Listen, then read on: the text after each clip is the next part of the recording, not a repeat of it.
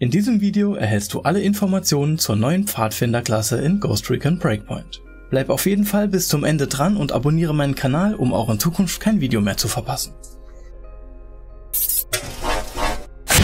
Die Pfadfinderklasse ist eine Späherklasse, aber im Vergleich zu den anderen Klassen ist sie deutlich vielseitiger.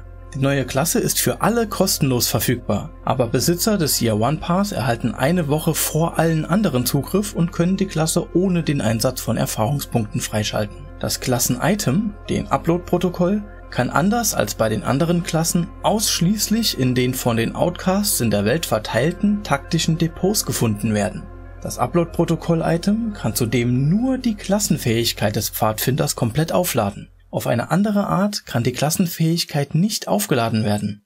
Das ist meiner Meinung nach aber gar nicht schlimm, denn die Klassenfähigkeit, das Amaros-Interface, hat es echt in sich. Mit der Klassenfähigkeit kannst du nämlich eine abtrünnige Azrael-Drohne kontrollieren, die wiederum einen Bereich scannen und Gegner ködern, blenden und sogar angreifen kann. Du kannst auch nicht nur eine Fähigkeit der Azrael-Drohne aktivieren, sondern so viel du willst. Jedenfalls bis die Zeit abgelaufen ist, denn du hast nur eine gewisse Zeit lang Zugriff auf die Drohne. Die Pfadfinderklasse kommt außerdem mit einigen passiven Fähigkeiten daher. Sie hat einen weiteren Sichtmodus, den Späherblick, der einer Wärmebildsicht in Schwarz-Weiß entspricht, die auch taktische Depots hervorhebt.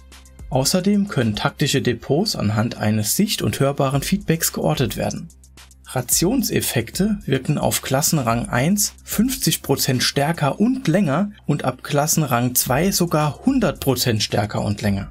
In den taktischen Depots kannst du übrigens mit etwas Glück eine AUG Scout, eine MK17 Scout, ein Baumblätter Gilly Oberteil und eine Baumblätter Gilly Hose finden. Im PvP-Modus funktioniert die Pfadfinderklasse etwas anders als im PvE. Sowohl das Uplink-Protokoll als auch die Adrenalindosis laden die Klassenfähigkeit nur zu 25% auf und der PvP-Vorteil Opfer sogar nur zu 13%. Dauer, Schaden und Kapazität der Funktionen der Azrael-Drohne wurden angepasst und die Drohne wird mit ihrem Scan Gegner im PvP nicht immer entdecken. Ich vermute, dass da zum Beispiel auf die Fähigkeiten der Panther-Klasse geachtet wird. Genaueres werden wir aber wohl erst bei Release wissen. Der Späherblick des Pfadfinders ist im PvP deaktiviert, was auch absolut Sinn macht, weil die normale Wärmebildsicht ja dort ebenfalls deaktiviert ist. Da es im PvP zudem keine taktischen Depots gibt, sondern der Uplink-Protokoll genau wie andere Items auf der Map zu finden ist, braucht man den Späherblick auch nicht, um taktische Depots zu finden. Die Pfadfinderklasse erscheint zusammen mit Episode 3 am 15. September.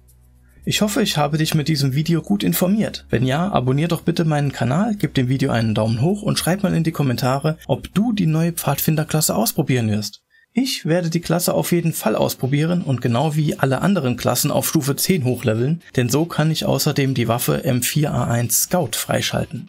Schau dir auch gerne hier links mein Video mit allen Informationen zu Episode 3 oder rechts mein Immersive Mode Let's Play an. Bis dann mein Freund, ich freue mich auf dich. Wir sehen uns.